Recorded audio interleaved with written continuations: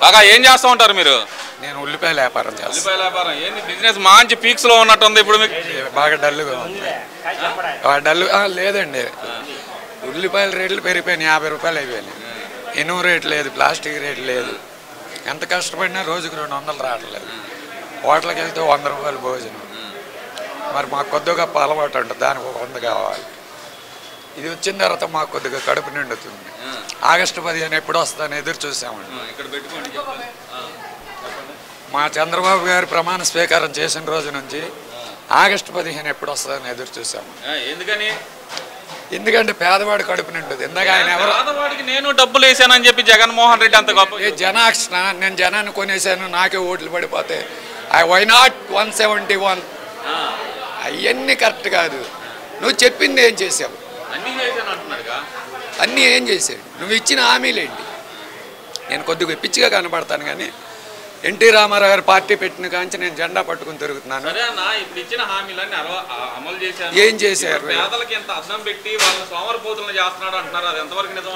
అరవై రూపాయల కోట నూట ముప్పై చేసి నువ్వు బా నువ్వేమైనా న్యాయం చేసావు ప్రజలకి. కుటుంబాలు కుటుంబాలు నాశనం చేసావు అమ్మఒడి ఇంట్లో ఎంతమంది ఉంటే అంతమందికి ఇస్తానన్నావు తర్వాత ఒక్కడికే అన్నావు. తర్వాత గవర్నమెంట్ గవర్నమెంట్ ఉద్యోగం ఉంటే ఇవ్వనన్నావు సొంత ఇల్లు ఉంటే అన్నావు? ముప్పై లక్షల ఇల్లు అనౌన్స్ చేసావు. మూడు లక్షల ఇల్లు ఇవ్వలేదు. తెలుగుదేశం గవర్నమెంట్లో కట్టించిన బిల్డింగ్లు ఎప్పటికి నువ్వు ఇవ్వనివ్వలేదు తెలుగుదేశం బోర్డులు పగలు కొట్టించావు తెలుగుదేశం అన్నా క్యాంటీన్లు పగలు కొట్టించావు. నీకు ఏ జిల్లాలో ఏ నాయకుడు సరైనోడు అంటే వాళ్ళని తీసుకెళ్ళి జైలు లేపించావు. నీ అంతం ఫస్ట్ ఆరంభం ప్రజావేదికతో మొదలైంది.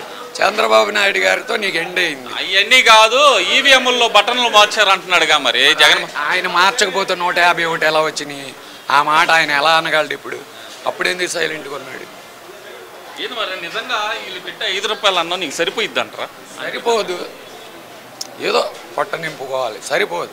రెండోసారి అవకాశం రాదు.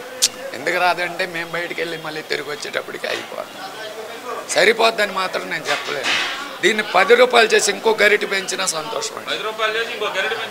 సంతోషం. సరిపో. ఒక్క గరిటే. క్వార్టర్ గురించి మాట్లాడే అలవాటు ఉందా బాగా? ఏదో లైట్గా? లైట్గా. ఈ మహానుభావుడు ముందు ఎప్పుడో ఉద్ది మాకు ఆయన ఏదో రేటు తగ్గిస్తా అన్నాడు.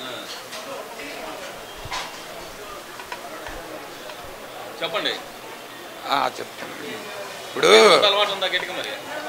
ఇప్పుడు ఉన్న అమరావతికి నువ్వు సంవత్సరానికి ఉన్న అమరావతి రాజధానికి సంవత్సరానికి ఒక పది కోట్లు కేటాయించాల. మూడు అమ రాజధానులు చేస్తానన్నావు. అదే మా టైం బాగోకు ఇప్పుడు నువ్వు వస్తే పదమూడు రాజధానులు చేస్తాననే జిల్లాకు ఒక రాజధాని. ఏం చేసావు? వైజాగ్లో నువ్వు ఐదు వేల కోట్లు పెట్టి ఇల్లు కట్టించుకున్నావే. పదిహేను వందల మంది కూర్చోవచ్చంట. సరే ఐదు వేల కోట్లు పెట్టి ఇల్లు కట్టించుకుంటే ఆయన కట్టించుకుంటే మీకేమైందన్నా? మీకు డబ్బులు వేసాడా కదా? వేసాడా లేదా వేసాడండి. నిరుపేదలకు ఎవడికేసాడు వాళ్ళ పార్టీ వాళ్ళకి వాళ్ళ కులస్తులకి వేసుకున్నాడు. అంతే అంతకు మించి అంత న్యాయం చేసినోడు అయితే ఆయన కూడా కాలర్ ఎగరేసాడు. వెంట్రుకు పీక్కోమన్నాడు. జనాలు పీకారుగా. అసలు బయటకు వచ్చి తలెత్తుకునే పరిస్థితి ఉంది ఆయనకి ఇప్పుడు. ఇరవై మూడు మందికి మేమే సిగ్గుపడితే అసెంబ్లీకి వెళ్తే మమ్మల్ని ఎర్రుపుకుల్లా చూశారు. పదకొండు మందితో నువ్వేం సాధిస్తావు? ఏం సాధిస్తావు? ఏ ప్రతిపక్ష హోదా సాధిస్తాను అంటున్నాడు ప్రతిపక్ష హోదా ఎలా వస్తుంది? టెన్ పర్సెంట్ సీట్లు రావాలి. తెలీదా ఈయనకు రాజకీయం? వీళ్ళు నాన్ సీఎం చేయలేదా?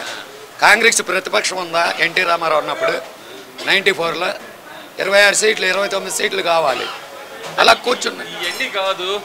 జగన్మోహన్ రెడ్డి ఈ ఐదు సంవత్సరాలు అన్న క్యాంటీన్ ఎందుకు పెట్టలేదు అంటావు అది మూర్ఖత్వం అండి. మేమన్నా మేమేమనుకున్నాం అంటే రాజన్న క్యాంటీన్లో పెడతాడులే పేదవాడు కడుపు నింపుతాడు అనుకున్నాం. దానికి బొత్స సత్యనారాయణ గారు పెద్ద లెక్చరర్ ఇచ్చారు. మేము తెరిపిస్తున్నాం తెరిపిస్తున్నాం అని. ఏం తెరిపించాడు? ఐదేళ్ళు గడిచిపోయింది. జరగాల్సింది జరిగింది. అవినీతి చేశారంట అప్పుడు చంద్రబాబు నాయుడు బాగా దీంట్లో. చంద్రబాబు నాయుడు గారు? పది మందికి అన్నం పెట్టిన దాంట్లో అవినీతి ఉందండి. అంబటి రాంబాబు రోజా గారు ఆయన ఎవరు ఆర్థిక మంత్రి చేశాడు. ఆ బుక్కన రాజేంద్రనాథ్ రెడ్డి గారు మా కృష్ణా జిల్లా ఎమ్మెల్యే గారు కొడాల నాని గారు మా ఎమ్మెల్యే గారు వంశీ గారు ఏయో మాట్లాడతారు.